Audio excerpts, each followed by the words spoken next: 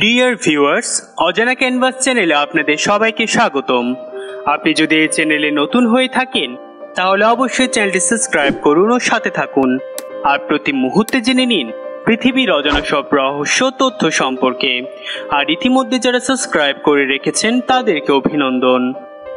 অন্যায়ের জন্য শাস্তি দেওয়ার প্রচলন এই পৃথিবীতে বহু বছর আগে থেকেই ছিল।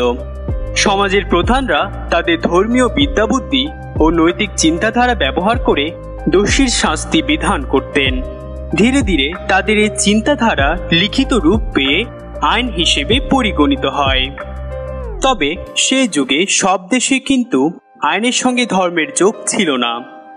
যেমন প্রাচীন মেসোপটেমিয়ার আইনসূত্র, যেগুলো কোর্ট অফ হাম্বুরাবি বলে বিশেষ পরিচিত, সেগুলো ছিল মোটামুটিভাবে ধর্মনিরপেক্ষ ধর্ম ও তৎসংলগ্ন নীতিবোধের প্রভাব তার উপর বিশেষ ছিল না।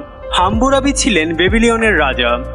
সতেরোশো পঞ্চাশ খ্রিস্টপূর্বাব্দে তিনি সিংহাসনে বসেন। তার রাজত্বকালে বড় বড় পাথরের উপর এই আইনগুলো লিপিবদ্ধ করা হয়। দুশো বিরাশিটি অনুচ্ছেদে বিভক্ত এই আইনসমূহে বাণিজ্য, বিবাহ, দাসত্ব, কর্য, চৌর্য সব কিছুই স্থান পেয়েছিল। শাস্তির যে বিধান এখানে ছিল আজকের যুগে সেগুলিকে বর্বর মনে করা হবে।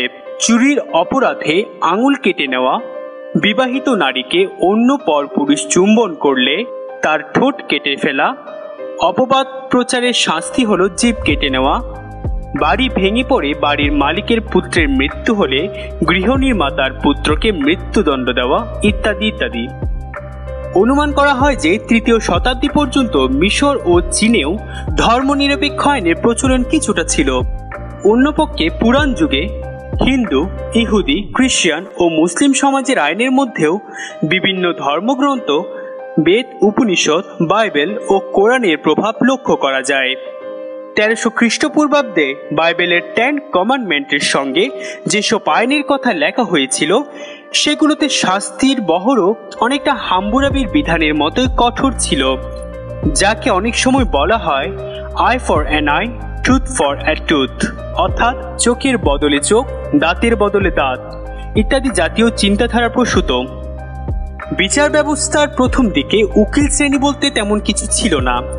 নিজেদের বক্তব্য নিজেদেরই বিচারককে জানাতে হতো। কিন্তু আইন যখন জটিল রূপ নেওয়া শুরু করল, সাধারণের পক্ষে তা ভালোভাবে জানা আর সম্ভবপর হলো না।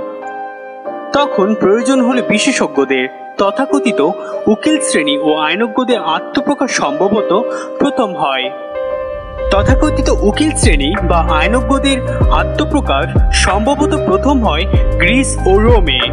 আনুমানিক দুশো খ্রিস্টপূর্বাব্দে। প্রথমে অবশ্য এদের সম্মানের চোখে দেখা হতো না।